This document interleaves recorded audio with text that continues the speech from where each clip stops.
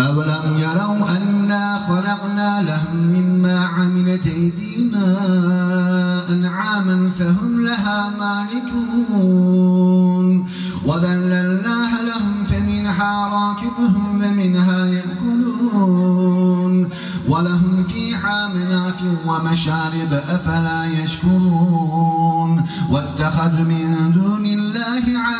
لعلهم ينصرون. لا يستطيعون نصرهم فهم لهم جند مهضرون فلا يهزنك قولهم إنا نعلم ما يسرون وما يعلنون. أولم يرى الإنسان أنا خلقناه